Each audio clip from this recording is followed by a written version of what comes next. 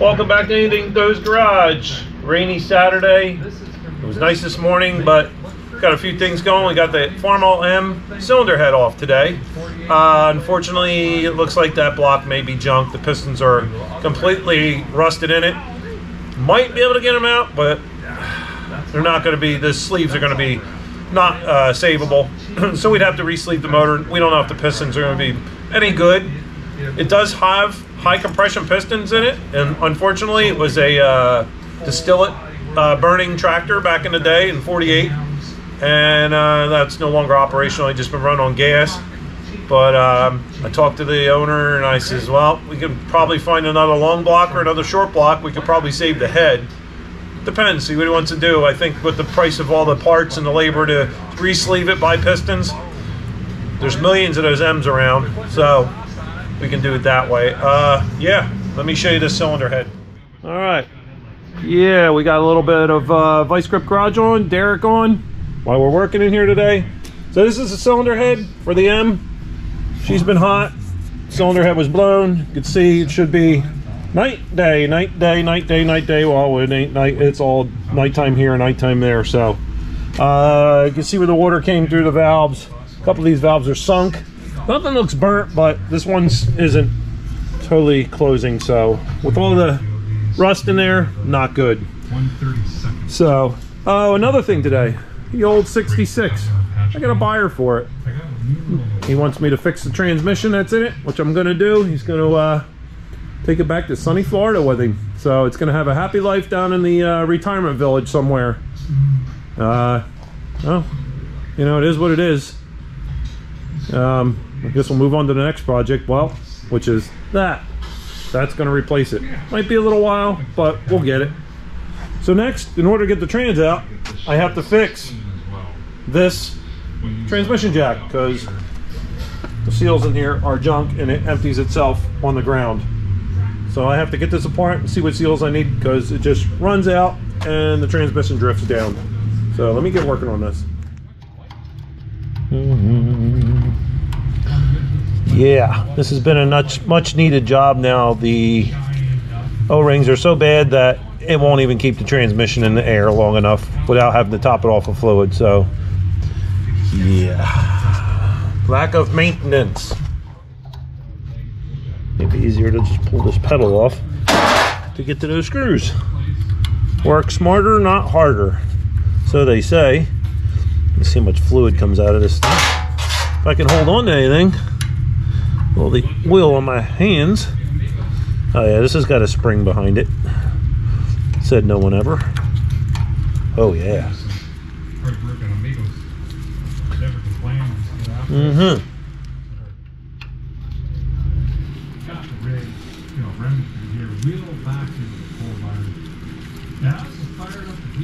Mm-hmm. Come on. Fine threaded metric junk. Come on. All right. Uh-oh. I guess you heard that, right? this thing still got a lot of fluid in I thought it was gone. It sounded like my stomach after I ate Taco Bell. Oh boy. Yeah, definitely a Taco Bell moment there. Woo wee. Yeah, boy. Okay. So I need to get this arm off, so that means uh, my blind butt didn't bring my glasses.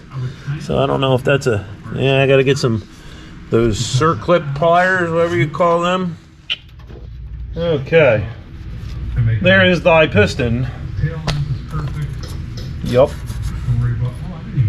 Uh, let me see here. Oh boy. It looks like that is a Teflon seal, not an O-ring. Hmm. Well, that is not good. That means I might have to see the manufacturer about that. I found the problem with this thing. I don't think it's so much a seal. Was this is loose. This should be tight. You see the fluid running around that? This thing was never tightened from the get-go, so I'm going to take this thing out. And, oh boy, there's a lot of fluid behind that. Let me uh, readjust this. Alright, so we're going to lose some fluid. Alright, so there may be a seal, if I could find this. I don't think this was just tight. So I'm going to clean all this off and get all the dirt off of this because all the speedy dry I've thrown around here over the years. get this clean and tighten this up. Maybe I can get this transmission out today. All right, so I clean this thing off. And I, put a wrench on this thing and tighten it up. And we're gonna cross our fingers and hopefully that thing don't leak no more. Because that's pretty much where it was coming from. But without taking apart and figuring out what seals are going in it. But I found it. Let's see what happens. Let me get a wrench.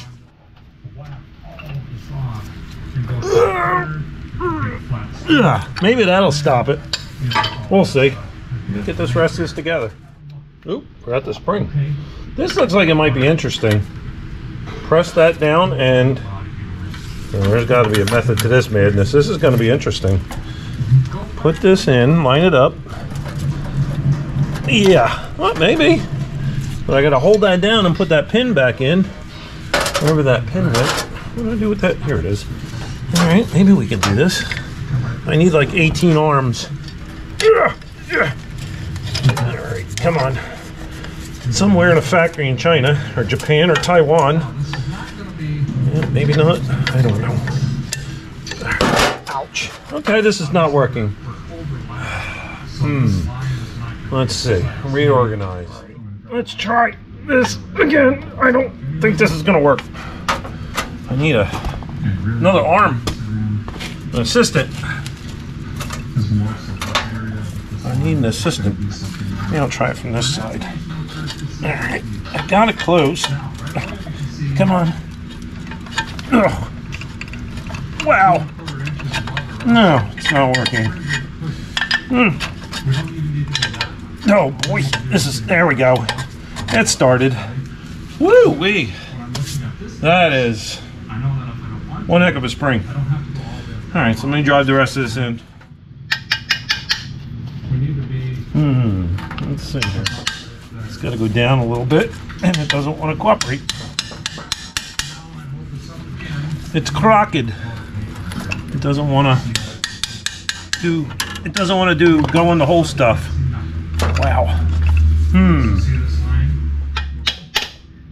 Too far. Perfect. Got it. All right.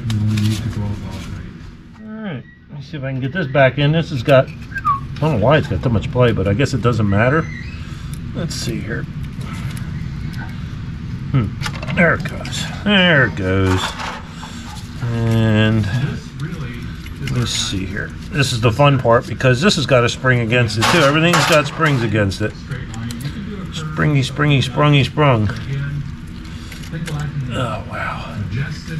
Dang it. Come on. I'm gonna have to get a, clamp. Yeah. Yeah, for those of you who are probably yelling at me on the on the computer. Yes, I did have the valve upside down.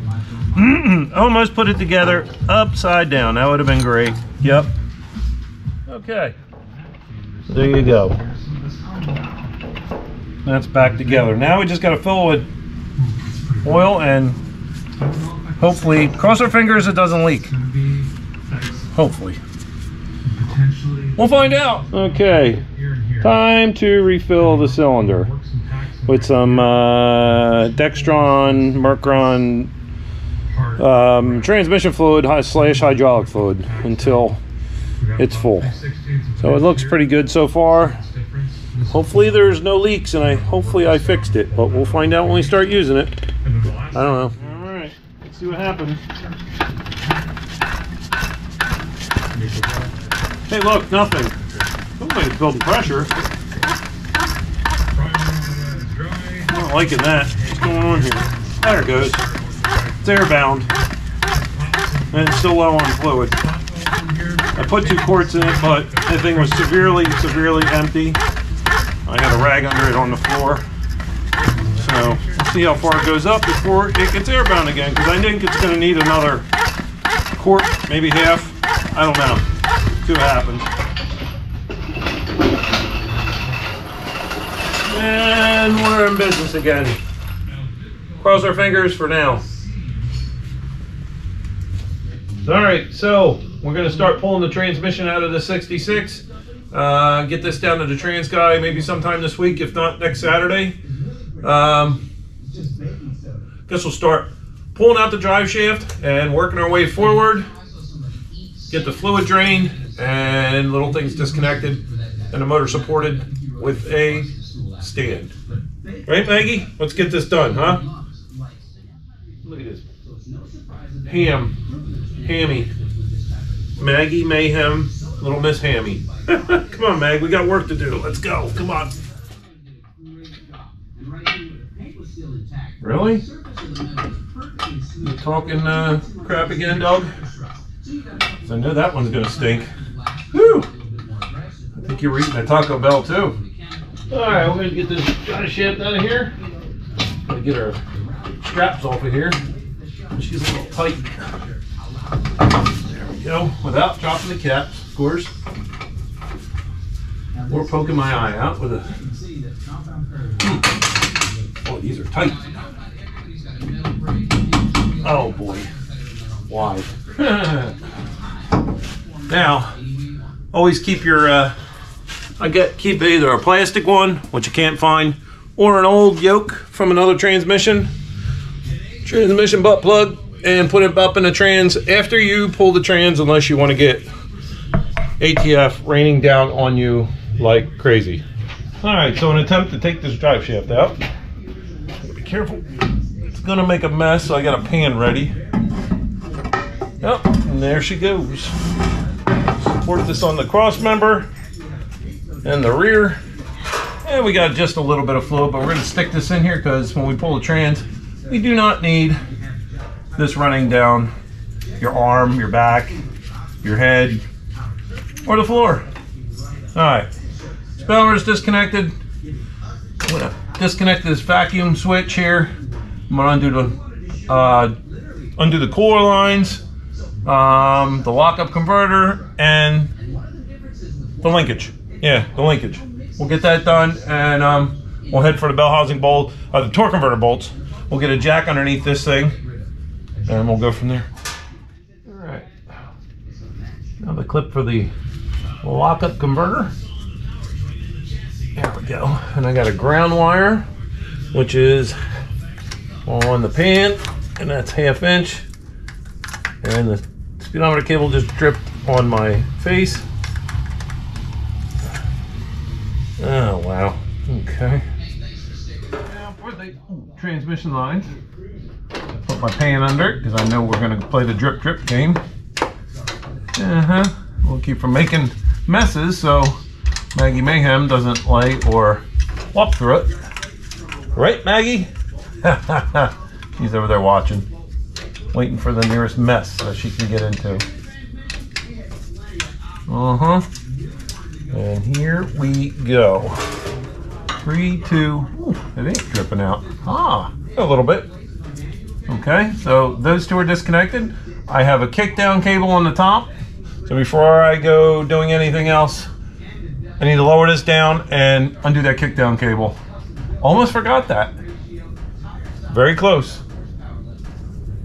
All right, so next, to keep this drip, drip, drip off my head, I always save my old rubber caps from all my lines and anything I get out of uh, water pumps, whatever you get. And what I'll do is slip them over the transmission line. Look, no more drips. So out of my collection of caps here, I have all different types. I don't think I have a matching set, but I'm sure I can make something work. Oops, I just hit that one. Now the other one's dripping. And you'll still get a little residual drip out of the trans. They do. I do have a plug for those somewhere in here. Oh, there's the one I'm looking for. All right, and a little on the small side. Nope, I dropped that one. Let me try that again. Let me see if I can make this because it won't fit over the flare. Nope, that one's too small.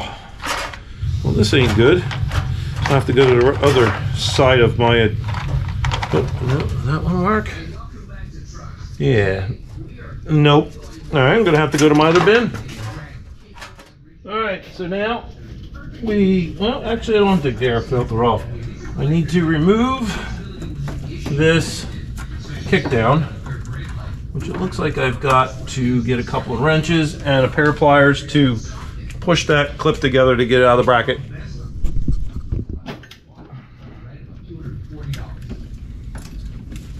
Seemed like yesterday. I just put this thing together. Alright. I know this thing's going to get hung up on something. That's the way it goes when I pull that transmission out. And I'll be getting a ladder because that's how things happen around here. This is a very tight fit behind this distributor with this giant clip. So not sure how good this is going to go.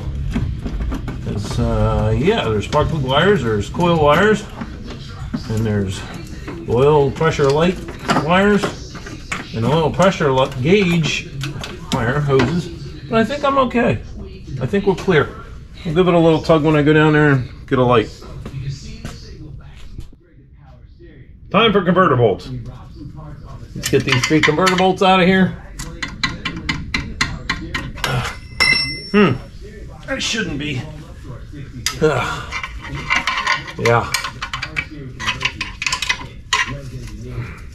supposed to be taking it easy, which I kind of am. It's this is relaxing to me, but I got bursitis on the shoulders from doing this stuff all these years, and uh, yeah, I should be in relaxing. But I've been relaxing. This is relaxing. If you don't find working on hot rods and getting rained on by ATF fluid relaxing, shouldn't be doing it. That's all I gotta say. Just saying.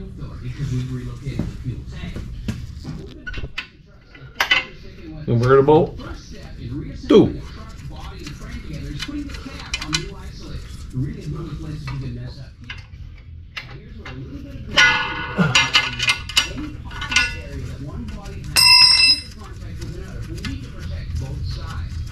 Converter bolt three. Ah, ah, ah, ah.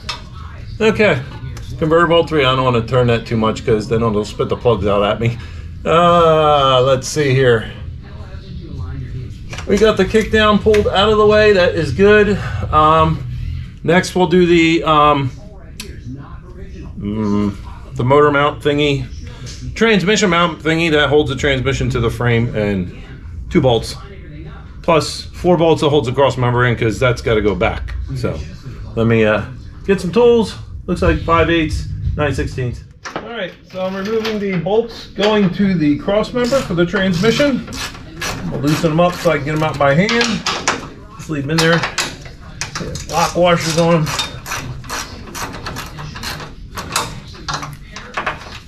Okay, both sides are done. They're loosened up. I'm gonna get a jack up underneath this thing to uh, secure this.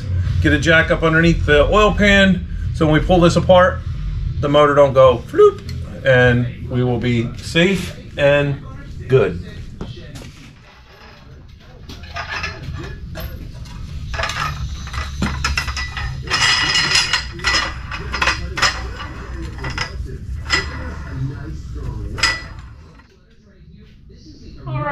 So now we're going to attack these bell housing bolts. I just want to crack them loose. I had to put my headlight on because I can't see up in there. The old eyesight, what it ain't used to be. Broke free. I don't know if I'm gonna, I might have to dip this thing down a little bit. There we go, there's two. Usually takes a extension and a wobble socket on a 9 16 to get them. There we go, there's that one. And watch your knuckles. The top ones are the pain in the butt ones to get to. That's where sometimes you gotta drop the cross member and let the back of the transmission sit down. You know? You might be able to get in there. I, I can't see anything. Oh, there it is. That's probably gonna be pretty tight. Look at that. We do give you enough room down here to play. Usually, the race car, no. You gotta definitely dip the trans down. Oh, wait. Oh, there we go. All right. I'll grab an airline, get this jack underneath here, and we'll be good. Let's try out these, uh, this transmission jack and see if it starts leaking. So far it ain't leaking. Usually it would be sitting here, it'd be leaking on the floor. But we've been good. Wash your fingers. It's got a little bit different oil in it too this time, so it's probably a little airbound yet. I notice sometimes if you don't go too fast, it pumps up a little faster. Hmm. Yeah. Watching the grass grow.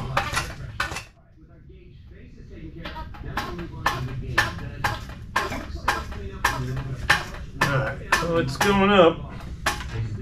I'll take a little weight off this cross member and go after all these bell housing bolts with my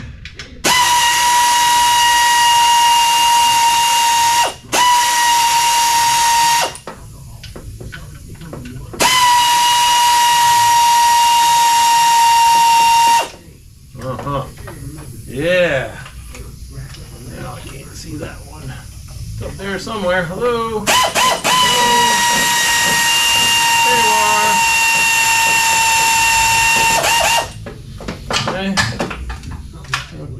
Oh, oh, oh, oh. Yep, gravity. It's a dangerous thing.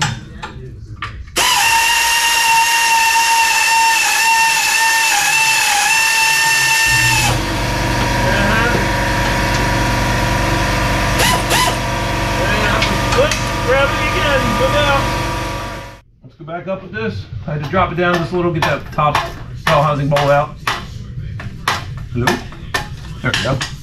Now we can pull the bolts out of our cross member. If they want to come out, I'm gonna have to lean that one out a little bit.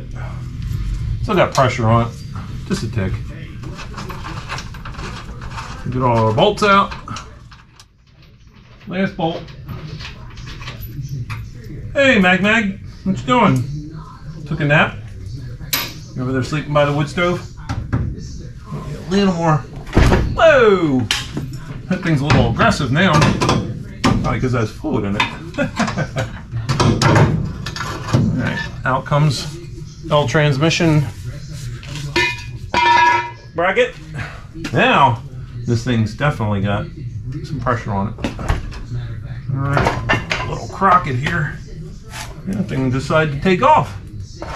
There we go. Alright, now we got a dipstick tube. Hopefully that stays with the trans or that is going to be a mess.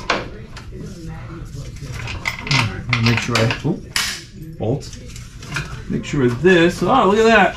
Caught on the dang oil line. Good thing I looked at that. Come on. You wise guy, you. Come on, you. And then poke me in the eye. Mm-hmm. Should my safety glasses on. Oh.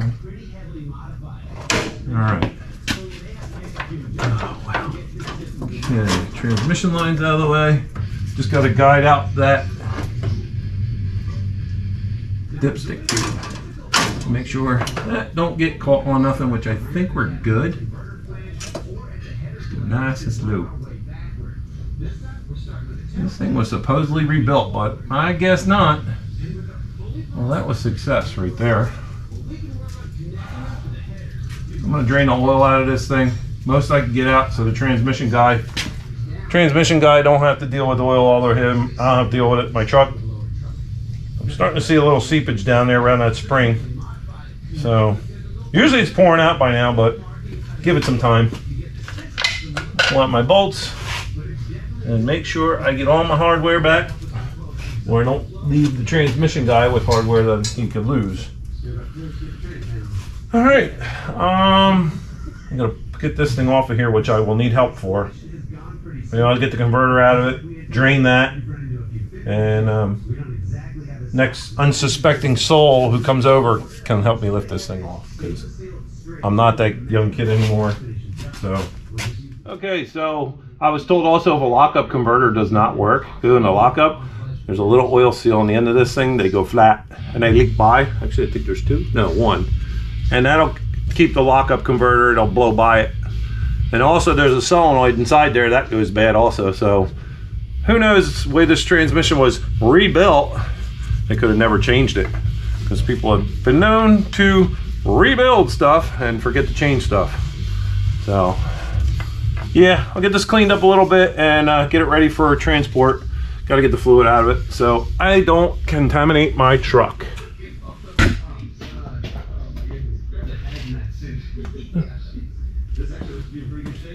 Hmm. Okay.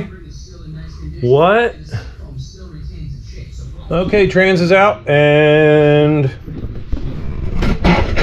it's ready to go to the trans shop of my choice.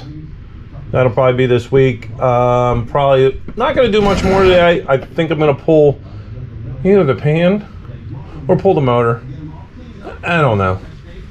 I don't. It depends on how hard that pan is to get out. Uh, I gotta get my shoulder rest. I am going to take a break. What is? Oh, it's a cap.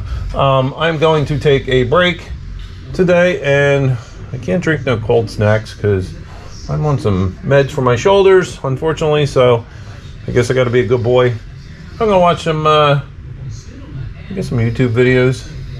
Just hang out in the shop. It's nice and warm here. It's like 65. And veg for the rest of the night, and make a list of things to be done. Uh, otherwise, no. Um, I think we're good here. Converter's draining. It's tagged, and ready to go, wiped down. I just got to drain the fluid out of it. Then we're good.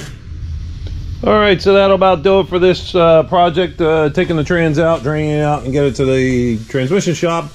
Uh, yeah, I guess um, maybe this week I'll take this motor out. I don't know. Uh, we got plenty to do around here right now. I'm trying to straighten up the shop a little bit. Uh, just dealing with weather. Eventually, we can get outside when the weather's nice. So, all right, well, thanks for uh, watching. Like and subscribe. Uh, yeah, helps out the channel a lot. Appreciate it. See you next time.